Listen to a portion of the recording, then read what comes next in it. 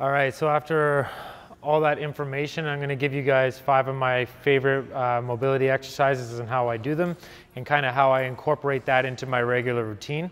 Uh, so we're gonna start at the ankles today and we're gonna loosen up the calves. So for the calves, I use two lacrosse balls and I get in on the sides instead of at the bottom. So when I'm down here, I put one of the lacrosse balls underneath uh, the top of the calf, one on top, and I start to massage out the muscle itself. As I'm massaging out the muscle, I'm flossing through the full range of motion. Okay, so this helps to start to get rid of any of those knots and that tightness and open up that full range of motion in my ankle. I work in here for about 30 seconds to a minute and I work down the whole muscle, massaging in, getting into really anything that's really gross and knotty, then I get in there even more, okay? I continue to floss through that full range of motion and make sure these guys are ready to open up. It's really key for your ankle range um, to be in proper position for your overhead squat and your front squat so you can keep a more vertical torso as you go in and out of that squat. So once I've uh, loosened up both calves, um, then it's time to stretch them out. And when I stretch them out, I uh, go over to the wall and uh, I start to work in and out of that range of motion. So what that will look like is I'll find where the end range is by pushing my knee forward while my heel can still stay on the ground. Okay, and I'll find the, the back end of that range where my heel can stay on the ground and my knee can go forward, and I'll floss in and out of that range. Okay, 10 times, hanging out there when it's tight, coming in and out. And that will allow my knees to start to track forward more and open up that position. The next thing that we're gonna loosen up is our quads and hips. Uh, I like to use a rumble roller for that so I can get deep into the uh, quad muscles. And basically what I do is I start from the top of the knee and I work up into my hip, both along the outside and the inside of my quad. Um, I never roll on a joint itself because that's not good for the joint. It's not good for anything really. So um, I start with the foam roller on the bottom. I keep my core tight and I just work through the nasty tissue, the quad muscle itself. I spend time on the outside. I spend time on my VMO and the inside. I work up into my hip. I work into my adductor and I make sure that this guy loosens up completely. After that's all that tissue is loosened up, then there's two things I do. The first one is if I want to statically stretch out the muscle and get more range of motion, then I do a Bulgarian split squat stretch where I put my back foot on the bench. I sit down into the stretch, I keep my core tight, I keep my glute activated and I push my hips forward. This allows me to stretch out my quad and as I push my hips forward, I'll get more into the hip flexor area. This is great for static stretching. This I typically use after a workout. Before workout, I do a split squat, a foot elevated split squat stretch. So this way I can work dynamically in and out of the range of motion. I put my front foot on the box my back foot stays straight. I'm on the ball of my foot. I keep this back leg straight, my chest up, my core tight, and I sit down into that range, and then I push out. You'll feel a nice good stretch on your hip flexor, and I go in and out of that range. It gets a little deeper every time. What this allows me to do is sit in the bottom position with my lower back tight so that I don't get a butt wink where my pelvis comes under at the bottom. What happens is if I snatch, I catch something heavy and I get that butt wink happening, you're gonna lose your weight. You're not gonna be able to sit and stabilize the weight with a solid back. So I see tons of guys who are super strong, can uh, squat a million pounds, they get in that overhead squat position with a snatch, their butt winks under and they lose the weight every time.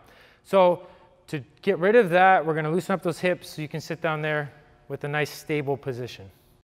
All right, guys, if, uh, if you're so tight that you can't get into these positions I'm talking about, um, then there's always, always ways to modify um, how you're doing it. So the first thing you can do is uh, put down a pad so that your knee sits higher, and then you can help yourself by taking something like this or a PVC pipe where you can stabilize yourself and make it a lot easier to get in that range and hang out there.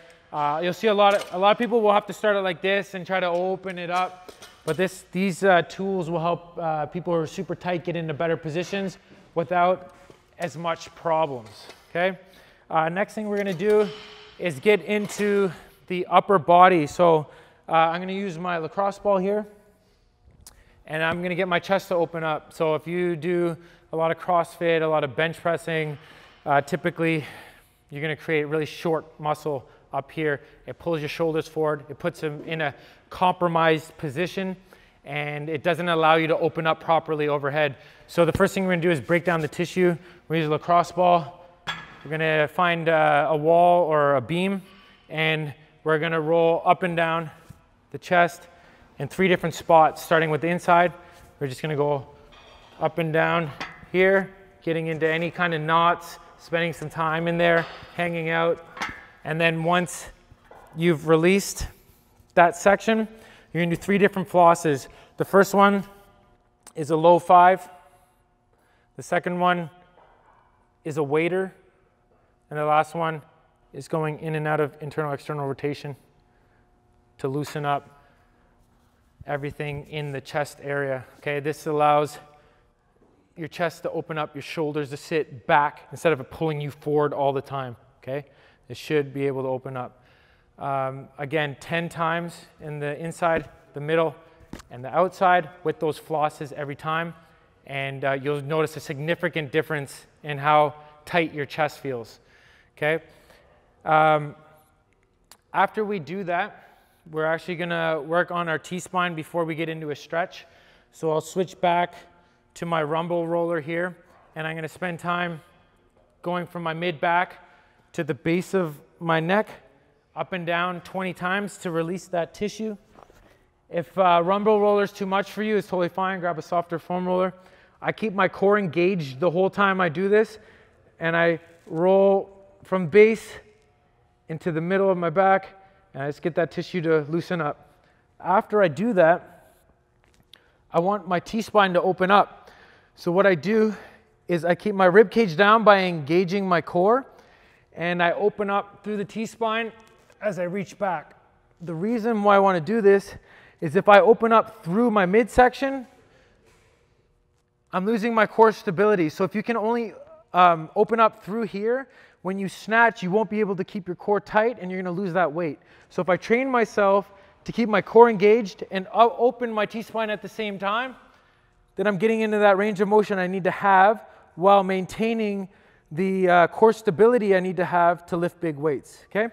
So I floss in and out 10 times and I do it at the, at the base of where I start, in the middle of where I start, and at the end of where I am. And I open all of that range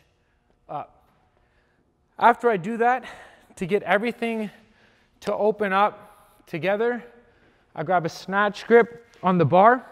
I go into a hollow body position and I'm gonna go in and out of my arch and hollow to open up my chest, my lats, and my T-spine. If you have a friend, they can help you out by pushing you in and out of that range very gently and you're gonna feel your chest open up, your lats start to open up, and you'll be able to hit a better overhead position with your upper body.